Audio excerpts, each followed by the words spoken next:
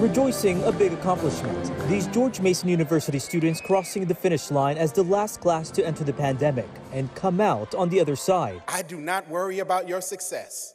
I celebrate it because you were built for a time such as this. Delivering the commencement speech is Governor Glenn Youngkin, putting aside words of politics for more words of encouragement. You are breaking barriers, designing your futures, and exemplifying perseverance. But no matter what he says, his presence on the podium is enough for some out of thousands to protest. From boos to students on the floor and on the stage holding signs, from turning their backs on the governor to walking out during his speech. His political views just don't uh, aligned with um, the betterment of the diversity at Mason. Like Jason Motley, Students Against Youngkin as the speaker says his policies don't represent the university. They're against his stance on how race and history is taught in schools and policies concerning transgender students. My big thing is just ensuring that Mason students at large feel safe, heard, protected, and he does not ensure that. But Joe Szymanski of the GMU College Republican says the demonstration does not reflect the class as a whole. Most of our university, as I expected,